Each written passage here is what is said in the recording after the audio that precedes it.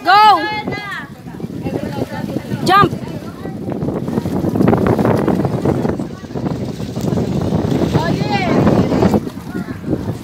Okay na. Go! Ano, tatalon ka? Tatalon.